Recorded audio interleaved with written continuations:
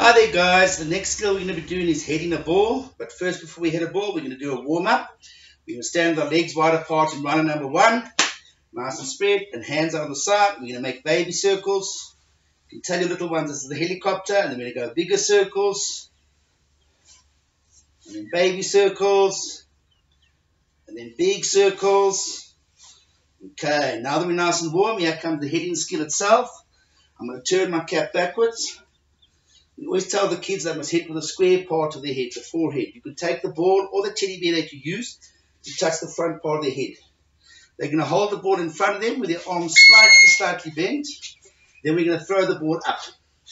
So, and then once you've thrown the ball up, we always tell them make a big tummy, then make a big bum to head the ball. So I hold the ball here, throw up, big tummy, big bum, thank you. Here we go again, out of my own hands. Hold the ball out. We do a baby throw.